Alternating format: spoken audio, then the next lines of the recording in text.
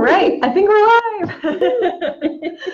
well, good morning, everyone, or good afternoon, or good evening, wherever you might be tuning in from. Mm-hmm. Um, my name is Elizabeth, and I work in the Kearney Center for International Student Services as the International Recruitment and Retention Specialist. Yeah, and my name is Stephanie Gonzalez. I also work in the Kearney Center.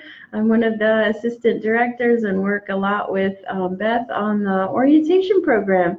So we're excited. I hope you're watching out there um, and just look forward to your coming here. Um, so, a few of the topics we want to discuss for today are um, about the visas because we know many students who are coming for the spring semester are still going through the process of applying for the visa um, and scheduling interviews. So we'll talk a little bit about best tips and practices for visas. Then we also will be discussing a few things about arriving for orientation, um, how to get to Mankato, and also a little overview of what orientation will look like. Um, plus a little bit of information about finding housing as you are preparing for your arrival as well. So, anything Yeah. else you think you want to cover for today? I think that's it for right now, but we'll be back again with more uh, info for you. Yes. Yes. So this is your mini teaser as you are preparing for orientation, Yeah. but we are um, planning to schedule many more live sessions and webinars as you prepare for your arrival in January. So uh, to start, one of the things I want to mention, and hopefully it might work to share my screen, it might not. We'll see if this works. I don't think it's going to let me when I'm in the live ver- live mode. Okay, so it might not work. Um, one of the things that hopefully you have been receiving by email are the the Know Before You Go series. If you've been accepted to MSU Mankato for January, you should be getting some pre-arrival messages from us. We have a series called Know Before You Go. And they are a series of interactive newsletters with tips about visa information, housing information, financial information, um, orientation. So they are very, very helpful um, uh, pieces of information for you as you are preparing. So I definitely encourage you to read all of the emails that you are receiving from Minnesota State Mankato. Read through them multiple times. There's very helpful pieces of information. And if you have questions, of course, contact us by email or by phone. Um, and we are happy to help answer any additional questions you have. Um, but to start, we will start with some tips as you are applying for your visas. Um, hopefully, if you have been accepted, you have already requested your I-20. We ship I-20s to students for free. So if you have not yet received your I-20, please make sure to fill out the I-20 request form, which you should have also received by email. We just need your shipping information, and then we will send the I-20 to you as quickly as possible through express shipping. And once you receive your I-20, you can schedule your visa appointment. One of the important pieces you need to schedule your visa appointment is the SEVIS number or SEVIS ID from your I-20. The SEVIS ID will be at the top right-hand corner of your I-20, and you will use that to first pay for the SEVIS fee, which is the $350 fee that you will pay to activate your I-20 for Minnesota State Mankato. Then you will keep a copy of that SEVIS fee payment receipt and schedule your visa appointment at the nearest U.S. Embassy or consulate, wherever you may be located. Um, the cost to schedule the visa appointment is 160 US dollars, and you will complete the application through the U.S. Department of State website, through the visa website. And we um, also send that information to you by email along with your SEVIS ID. So hopefully um, all that information is very clear as far as scheduling your appointment. Then as you're preparing for your appointment, it's important to gather all of the supporting documents that you need to bring with you to show to the consular officer. And one of the things that oftentimes surprises students is how short the interviews are with the consular officers. Typically, most interviews are less than two minutes, um, but they can range from anywhere from two to five minutes. Usually they, they don't go over five minutes. So that's a very short time um, to share all of your information and answer the questions that the consular officer has. So it's important to go very organized with all of your documents in order so that you can quickly give those to the consular officer um, without feeling very rushed. So the documents that you will need to bring with you would include, of course, the I-20, the copy of your admission letter to Minnesota State Mankato, the financial documents that you used to apply to Minnesota State University Mankato, or if you have updated financial documents, bring the most current documents with you. The financial documents will show how you plan to pay for the first year of your education um, in the United States. So that would include the um, the financial statement for your tuition and fees, your housing, books and supplies, everything that's listed on the I-20 under the financial section should match what's on your financial statement or your bank statement. So make sure to bring that with you. You should also bring with you your transcripts from either your high school or university transcripts if you're applying for a master's program.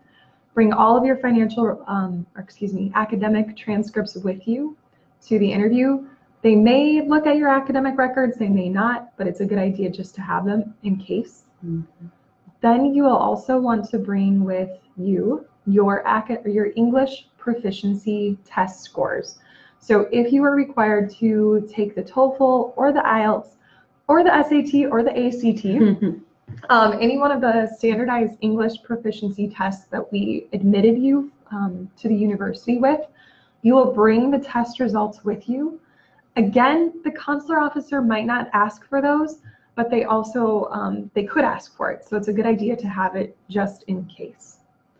Um, then you will also want to bring with you that SEVIS fee payment receipt. So the $350 payment that you made um, to activate your I-20, you do need to bring that receipt with you to the appointment as well. And that is the summary of documents. Um, so in summary, the I-20, the SEVIS fee payment, your financial records or financial documents of how you're paying for the university, the transcripts, the test scores, um, anything else that I Mm, had to mention at the moment? No, I was, Oh, an admission letter. yeah, great job. So those are was- the documents, yeah. That was a lot of information, a lot of awesome Mhm. information. Thank you. I was just gonna say, I was um, talking to a student the other day, and he was trying to encourage other students um, who might be coming with just kind of when you go to the visa interview, it's, you know, you might feel really nervous about it. It's a very important um, time for you, of course. But he was really emphasizing um, just being friendly you know, smile, try to just have a friendly kind of demeanor. Mhm. Um, that can go a long way when the officers are very rushed and busy. And if somebody's nice to them, you know, "Oh, how are you doing? You know, just kind of have that um, that lighter rapport. Mhm. Sometimes that can help. And then you'll just also want to be prepared with uh, information that they might want to know, like what um, are you planning to do? You know, what's your your motivation for coming to the U.S. And then they want to know if you're planning um, or if you have the uh, information or documentation to show that you're planning to go back to your home country. So they want to make sure you have home country, excuse me, ties. So it's important to be ready for that question as well. So other than that, I think, yeah, you covered Mhm. everything. Um, and just going off of that too, I think it's a really good idea, what Mhm. Stephanie mentioned, to talk about your academic and your professional goals. Um, one of the questions they might ask you is why you are choosing to study at Minnesota State Mm. University Mankato Yes, over all the other universities in the United States.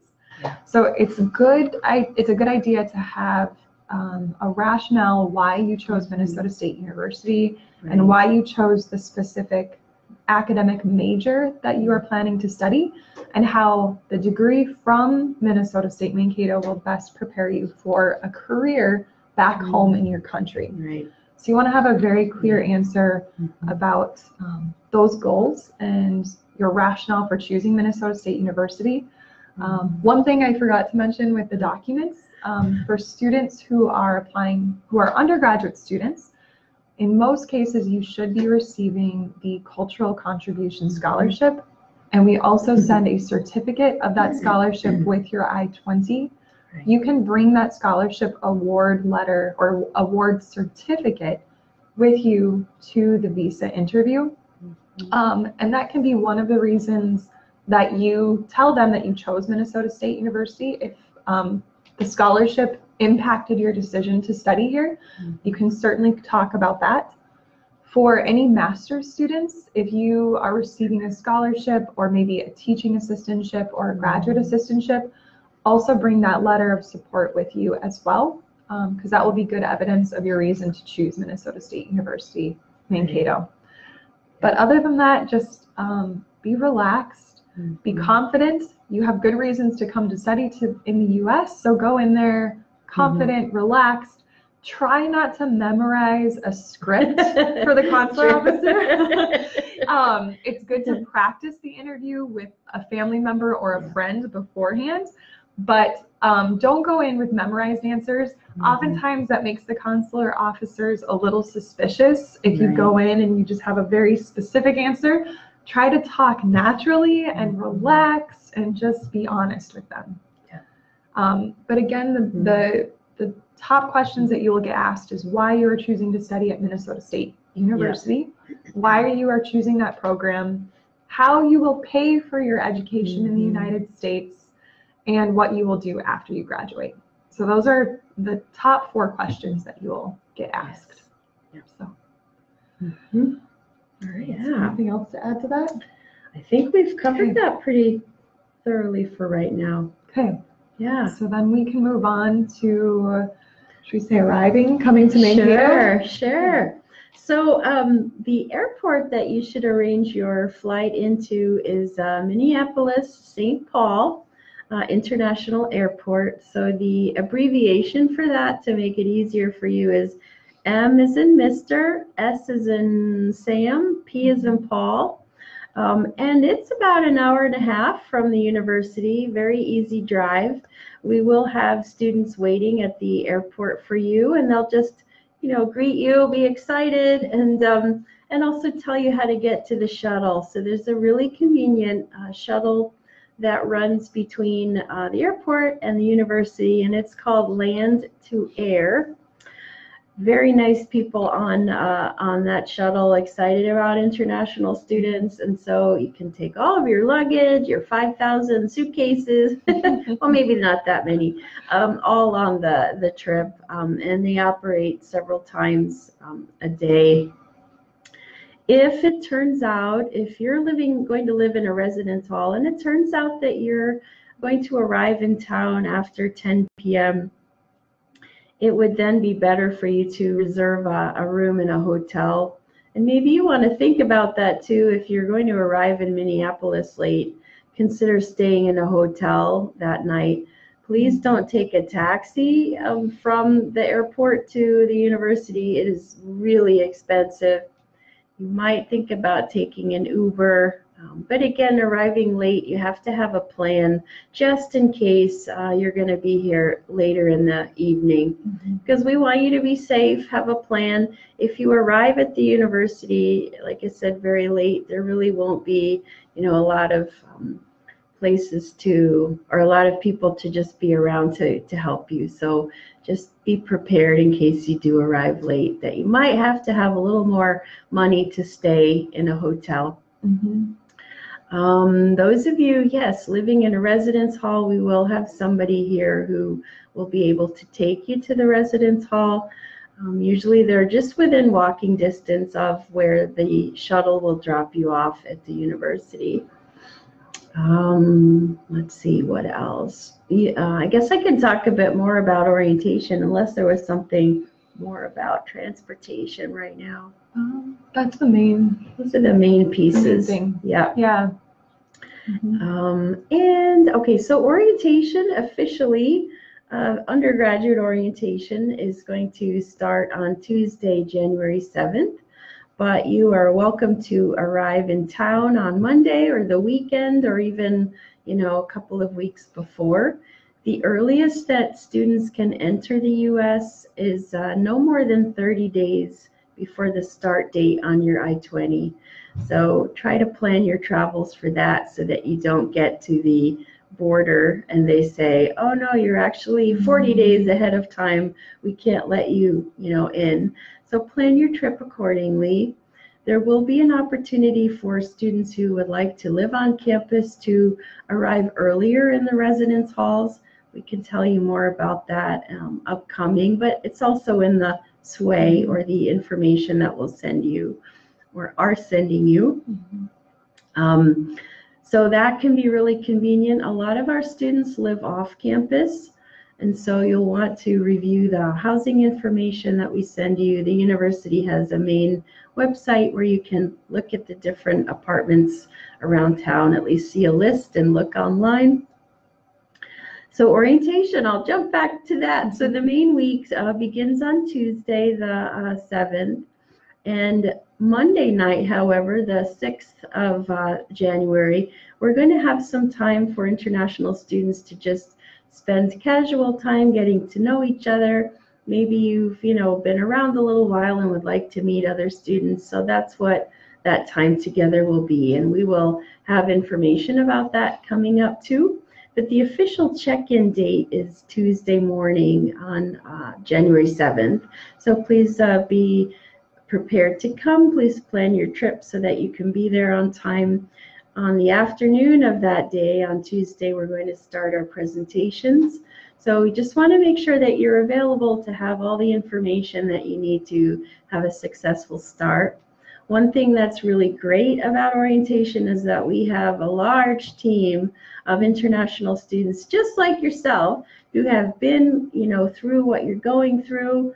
They've planned for getting here and all excited and, you know, everything is brand new. So we have about 50 mm-hmm. international students who are going to be at the ready uh, to help you when you get here. So we have programs throughout the week um, I'll mention for graduate students, if you're going to be coming here, um, you can come to an orientation just specifically for you on Friday, January 3rd. And so that will be for you and your fellow graduate students to, you know, have a shorter orientation, but still full of information. Because uh, some graduate students have graduate assistantships or teaching assistantships and their schedule during the main orientation, the week of the 7th, is uh, filled with meetings and preparation for your assistantships and teaching assistantships.